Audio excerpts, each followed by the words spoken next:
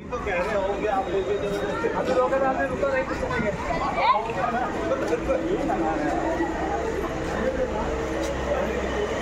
एक दो तीन चार पाँच पाँच पेटी रखते हैं।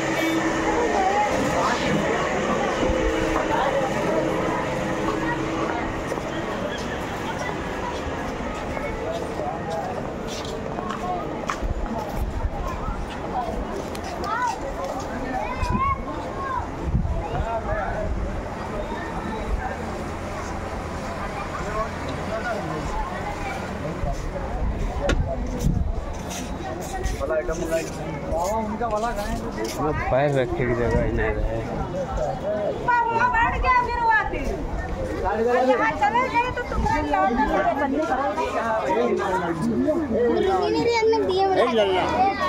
वो वो तो